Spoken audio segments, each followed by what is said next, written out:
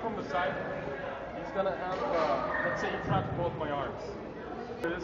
Just take the arm that's closest to him, put it into his armpit, and then just of push. So what you're doing, he doesn't require any strength at all. You're just, he, he's got you here, and you're just doing this. So again, it's with the hips. You're just bending down as you're doing it.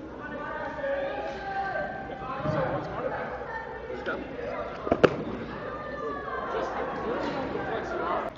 Okay? Line up.